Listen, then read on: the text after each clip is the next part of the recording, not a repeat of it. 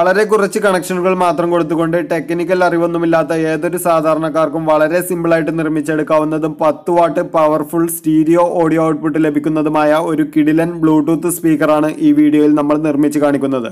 ഞാൻ ഹമീദ് ഓർബിറ്റ് നമ്മുടെ പുതിയ വീഡിയോയിലേക്ക് എല്ലാവർക്കും സ്വാഗതം. ഇതുപോലെ ഉപകാരപ്രദമായ വീഡിയോകൾ നിങ്ങൾക്ക് സ്ഥിരമായിട്ട് ലഭിക്കുന്നതിന് ഈ ചാനൽ സബ്സ്ക്രൈബ് ചെയ്ത് ബെൽ ഓണാക്കി വെക്കുക. അപ്പോൾ നമ്മൾ ഇതിന്റെ നിർമ്മാണം ആരംഭിക്കുകയാണ്.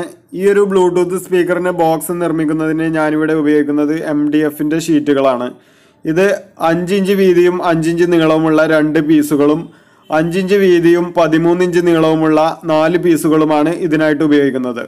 നിങ്ങളിത് നിർമ്മിക്കുമ്പോൾ നിങ്ങൾ ഉപയോഗിക്കാൻ ഉദ്ദേശിക്കുന്ന സ്പീക്കറിന്റെയൊക്കെ വലുപ്പത്തിനനുസരിച്ച് ഏത് അളവിലും നിങ്ങൾക്ക് ബോക്സ് സെറ്റ് ചെയ്യാവുന്നതാണ്.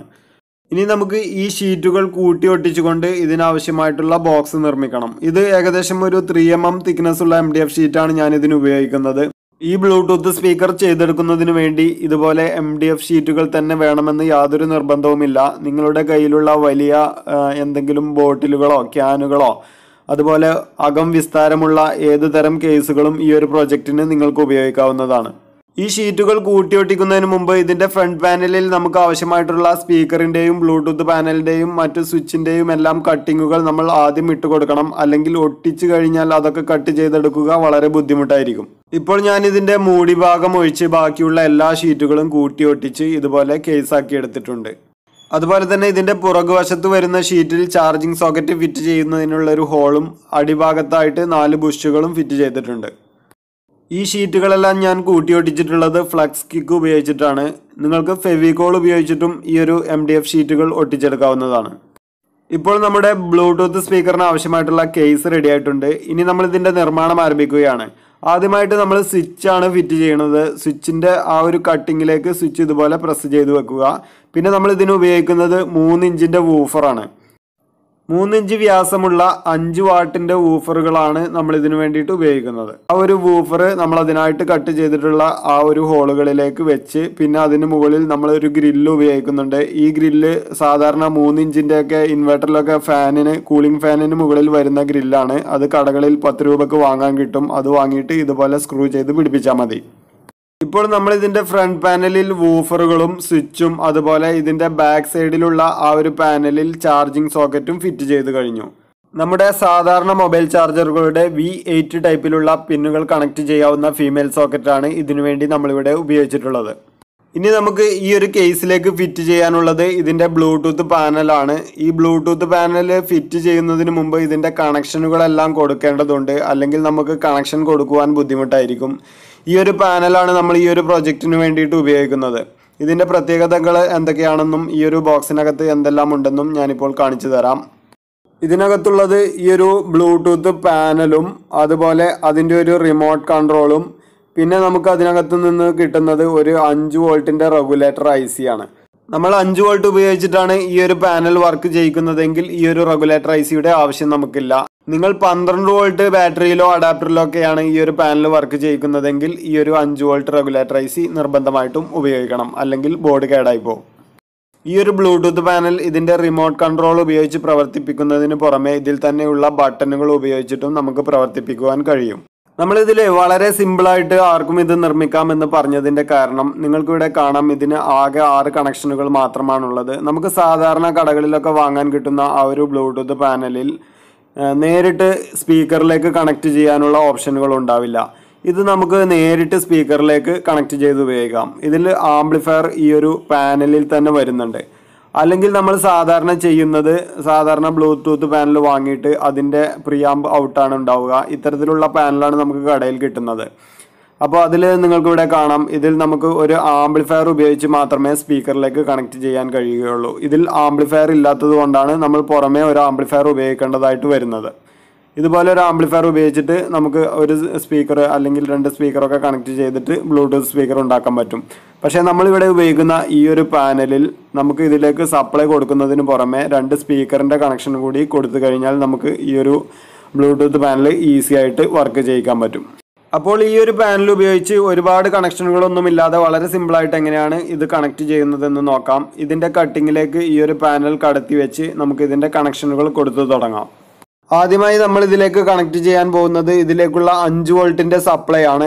അതായത് ഇപ്പോൾ നിങ്ങൾക്ക് ഇവിടെ കാണാം റെഡ് ബ്ലാക്ക് വയറുകൾ ഗ്രൗണ്ട് വി സി സി എന്ന് എഴുതിയിട്ടുണ്ട്. ആ രണ്ട് കണക്ഷനിലേക്കാണ് നമ്മൾ ഇത് വർക്ക് ചെയ്യാനുള്ള സപ്ലൈ കൊടുക്കേണ്ടത്. ഇതിൽ ഗ്രൗണ്ട് എന്ന് എഴുതിയിട്ടുള്ള ബ്ലാക്ക് വയർ നെഗറ്റീവ് കണക്ഷനും വി സി സി എന്ന് എഴുതിയിട്ടുള്ള റെഡ് വയർ പോസിറ്റീവ് കണക്ഷനുമാണ് ഇതിലെ പോസിറ്റീവിന്റെ റെഡ് വയറാണ് നമ്മൾ ആദ്യം കണക്ട് ചെയ്യുന്നത്. അത് സ്വിച്ചിന്റെ ഏതെങ്കിലും ഒരു പിന്നിലേക്ക് ഇതുപോലെ സോൾഡർ ചെയ്ത് വെക്കുക. പിന്നെ ഗ്രൗണ്ടിന്റെ ബ്ലാക്ക് വയർ.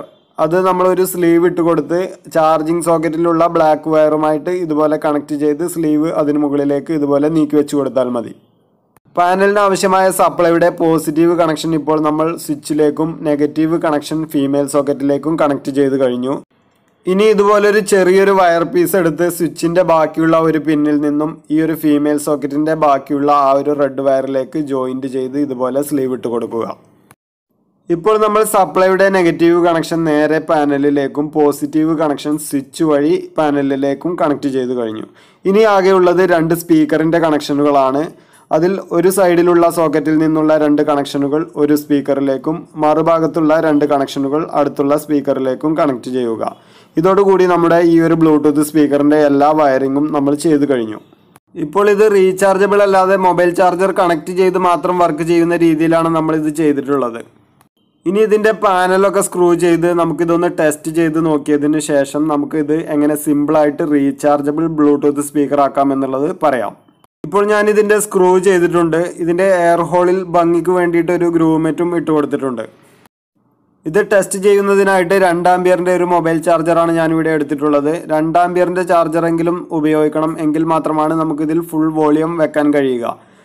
പിന്നെ ഞാനിവിടെ സപ്ലൈ കണക്ട് ചെയ്യുന്നതിന് നമ്മൾ കഴിഞ്ഞ വീഡിയോയിൽ നിർമ്മിച്ച് കാണിച്ച ആ ഒരു എക്സ്റ്റൻഷൻ ബോക്സ് എടുത്തിട്ടുണ്ട്. അതിൽ കണക്ട് ചെയ്തുകൊണ്ട് നമ്മുടെ ഈ ചാർജിംഗ് പോർട്ടിലേക്ക് മൊബൈൽ ചാർജർ കണക്ട് ചെയ്യുകയാണ്. ഇപ്പോൾ നമ്മൾ ഇതിലേക്ക് സപ്ലൈ കണക്ട് ചെയ്തു. ഇപ്പോൾ ഇതിന്റെ സ്വിച്ച് ഓൺ ചെയ്യുമ്പോൾ നിങ്ങൾക്കിവിടെ കാണാവുന്നതാണ്. നമ്മുടെ ബ്ലൂടൂത്ത് സ്പീക്കർ വളരെ ഭംഗിയായിട്ട് വർക്ക് ചെയ്യുന്നുണ്ട്. ഇനി നമുക്കിത് ഫോണുമായി കണക്ട് ചെയ്തൊന്ന് വർക്ക് ചെയ്ത് നോക്കാം. ആദ്യം നമ്മൾ ഇതിന്റെ മോഡ് ചേഞ്ച് ചെയ്ത് ബ്ലൂടൂത്തിലാക്കണം എന്നിട്ട് നമ്മുടെ ഫോണിൽ ബ്ലൂടൂത്ത് ഓൺ ചെയ്ത് ഇതിൽ സെർച്ച് ചെയ്ത് കഴിഞ്ഞാൽ നമുക്ക് ഈ ഒരു പാനലിന്റെ പേര് ഇതിൽ കാണിക്കും. നമ്മൾ സാധാരണ ബ്ലൂടൂത്ത് ഡിവൈസുകൾ പെയർ ചെയ്യുന്നത് പോലെ തന്നെ ഇതും പെയർ ചെയ്താൽ മതി. ഇപ്പോൾ നിങ്ങൾക്ക് ഇവിടെ കാണാം നമ്മുടെ ഫോണും ഈ ബ്ലൂടൂത്ത് സ്പീക്കറും തമ്മിൽ കണക്ട് ആയിട്ടുണ്ട്.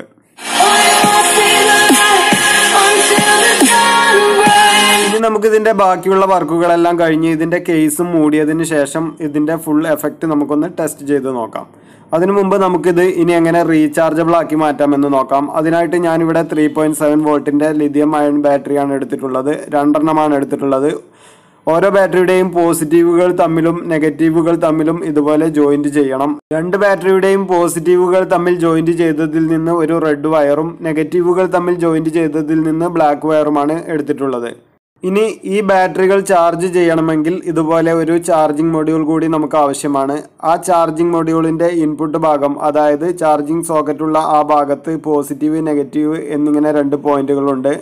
അതിലേക്ക് നമ്മുടെ ചാർജിംഗ് സോക്കറ്റിന്റെ പോസിറ്റീവ് നെഗറ്റീവും അതായത് പോസിറ്റീവ് റെഡും ബ്ലാക്ക് നെഗറ്റീവും അത് മാറിപ്പോകാതെ കണക്ട് ചെയ്യുക.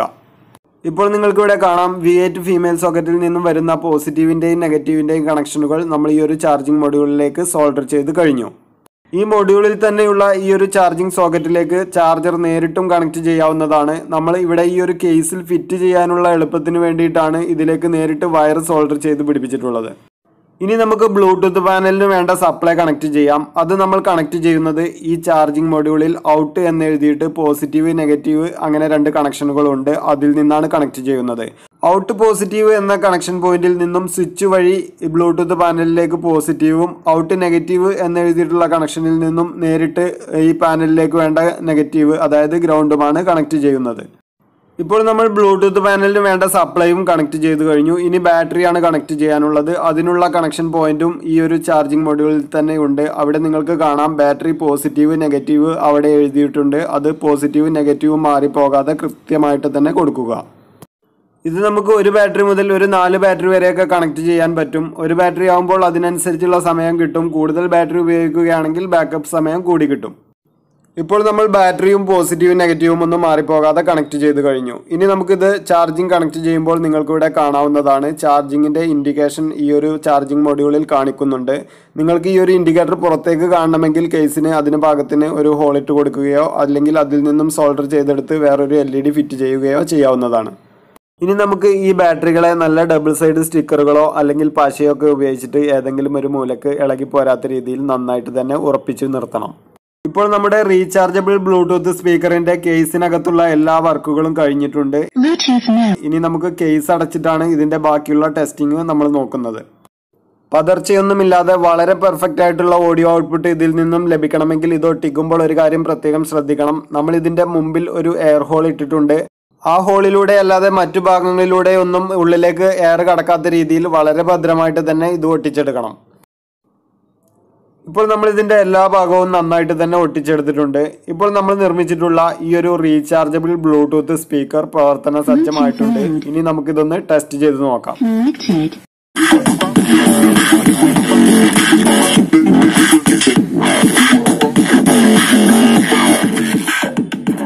നിങ്ങളിപ്പോൾ കേട്ടതുപോലെ വളരെ പെർഫെക്റ്റ് ആയിട്ടുള്ള ഓഡിയോ തന്നെ നമുക്ക് ഇതിൽ നിന്നും ഔട്ട്പുട്ട് ആയിട്ട് ലഭിക്കുന്നുണ്ട്.